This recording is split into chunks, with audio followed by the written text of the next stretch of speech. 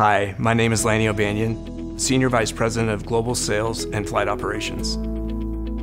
I was raised in Waverly, Kansas, um, which is a very small town of uh, less than a thousand people. And just a fun fact, that's where Olive Ann Beech was born in 1903. For my entire career, I've worked at Textron Aviation. I started here when I was 22 years old, uh, right out of college.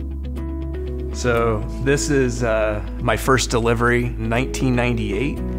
So I was uh, 25 years old, and it kind of looks like it in this photo. This was Citation 10, serial number 40. I can remember pretty much everything about this delivery because it meant so much to me.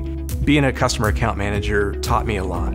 It taught me a lot about the business and it taught me a lot about the customers. Our customers are amazing people. Um, they have a range of stories of success.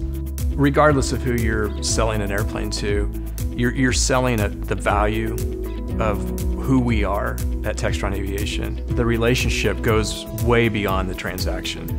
The one thing I've learned working with customers around the world, trust is, is what our customers are looking for because they want to trust who they're working with. They want to trust that you know, they're buying a product we're going to stand behind.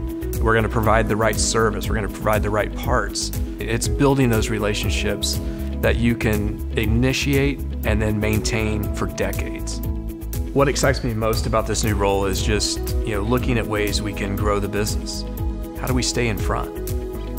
When I look back at my career path at Textron Aviation, I will appreciate the confidence that my managers and supervisors showed in me. And now I want to do that for my team.